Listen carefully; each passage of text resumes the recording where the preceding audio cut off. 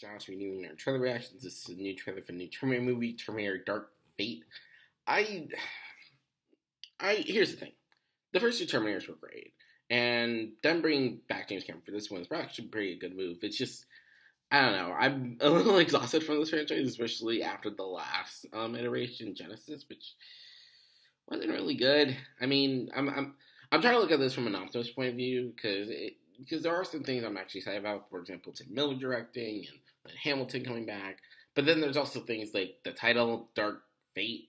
I, I I'm just like, uh, did you guys create that in the boardroom meeting or something? But but who knows? Maybe it might be good. I mean, you do have Mackenzie Davis, who I believe is a very underrated actress. If you haven't seen um, shows like, um, I believe she's in Blade Runner 2049, but also she's in like really great shows like and Catch Fire, which also has a Lee Pace, and that's one I actually highly recommend her in. But this is like our first big role, and I'm actually a little happy for her because it's just like I'm a really big fan of the actress. So it does have some stuff going on, but I'm just I don't know. I, I guess we're gonna have to see how this trailer goes. So so yeah. But before we start, I just want to mention my Patreon, in which I do, in which you can get early access to my video videos, unedited show reactions, as well as access to shows, um, to show reactions that I can't necessarily post on YouTube because they're damn draconian copyright system. So if you want to, so if you want to uh, support me over there, you can support me in the channel. You can also um, Link will be down in the description down below. And yeah, let's jump into this, shall we? Three, two, one. Hmm.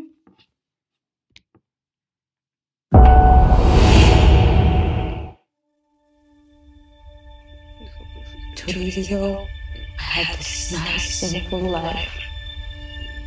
And now it's a nightmare.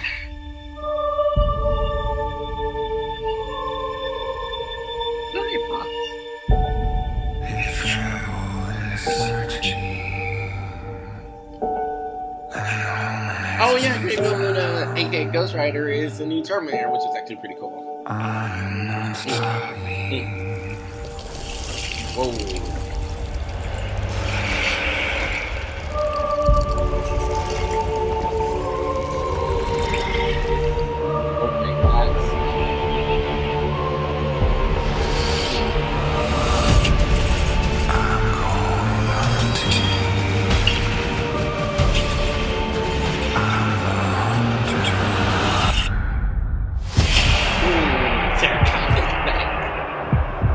Who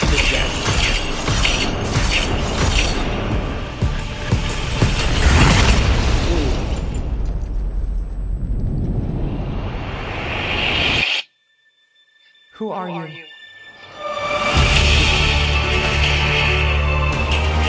My name is Sarah Connor. Never seen one like you before. Almost human.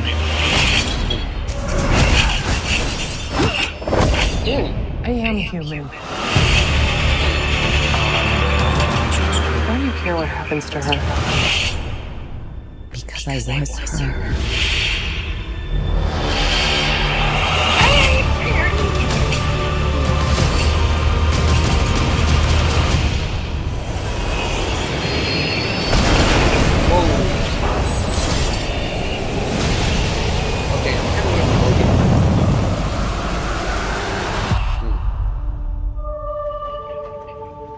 How do, How we, win? we win?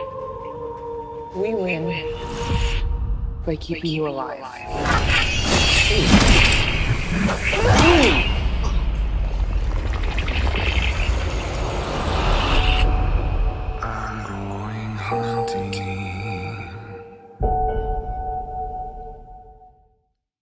mean, this looks cool. Okay, so that was a trailer for Terminator Dark Fate. It looks cool. I will give it this. It looks cool. Um, I completely forgot about the Gabriel Luna thing. Uh, for those that don't know who Gabriel Luna is, he was just recently on Agents of Shield. He played Ghost Rider. So there is a little bit of expectations. I think from what I'm able to get from the plot, it is it does. You know this. You know what this one kind of reminds me of? Fucking Logan, especially especially actually Logan and The Force Awakens because you have the new cast, which Mackenzie Davis, whoever um, whoever she's protecting and then um, and then and then fucking Sarah Connor and Arnie, and then and then um, fucking Sarah Connor and Arnie, and then you have um, and then you have uh, what's what's his face? Um, and then you have Mackenzie Davis, and then you have Mackenzie Davis, and then Sarah Connor coming back into the fold. I again, I'm very. This does look visually good. Like there are some really solid fights. It looks fucking brutal. I'm praying to God to get an R rating. I know the last one would have been. I know the last one was PG thirteen, and one secret that were R. Hoping they get an R rating because it does look kind of brutal, and some of the action scenes does look brutal. Although I will admit some of the CGI kind of needs work, but then again, this is only a first trailer. It does look cool, and it does seem like it's kind of branching out from the whole Connor storyline and stuff, which I, I would say is a much you think, but then again, I don't know how you would do that. And I know this. I know this completely removes all three films. Even Cameron J. Cameron be like, no, this is not. Uh, this takes place all three films, and this does take place in a universe where Raider one and two has happened. Although now I'm wondering, like, what the fuck happened? Oh wait, I know what happened to John Connor. But then again, also like, what happened to that version of John Connor? Did he go or did he die? Is he not a part of this adventure?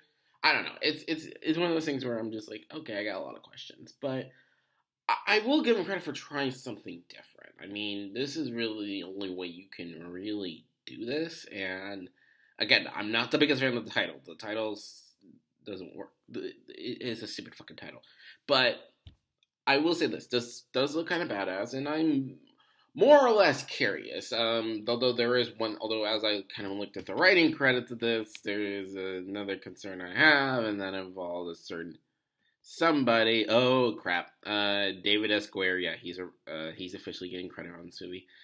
Not the biggest fan of him personally. I'm not the biggest fan of his writing style, um, especially post Blade Trinity. So, ooh, again, this has enough things to where I want to be curious and I want to kind of